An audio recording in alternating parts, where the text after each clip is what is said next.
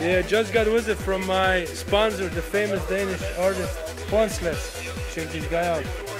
The best of the best.